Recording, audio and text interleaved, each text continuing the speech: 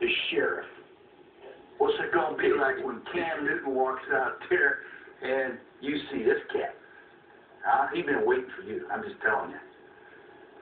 What's that gonna be like? Tell me. Oh my God, just just uh, I can't even fathom my, my my thought process going on. I mean, you see the Peyton Mannings. I was playing against guys like that, Tom Brady, Josh Freeman's, the the the Matt Ryan, Drew Brees, Aaron Rodgers. The list goes on. Oh my goodness. If he's looking for you, he wants to kick your ass. I'm just telling you. You know what? This guy here, he's been watching you.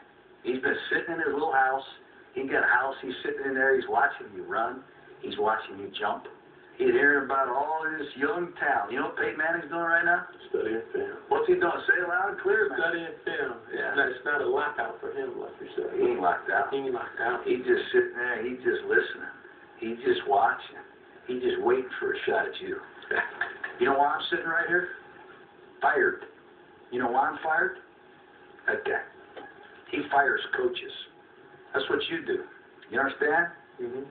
You tear people up. This is what he's doing. He's just looking at you. He's thinking, I can't wait to get. I'm going to take Cam Newton out. I'm going to look over here. I'm going to get Gabbert. I'm going to get anybody I can get. My quarterback, my, my guy, my first rounder. He's got to love it. Mm-hmm. Brady loves it. He sincerely loves it. I mean, Brees, I know this Mannings, they love it.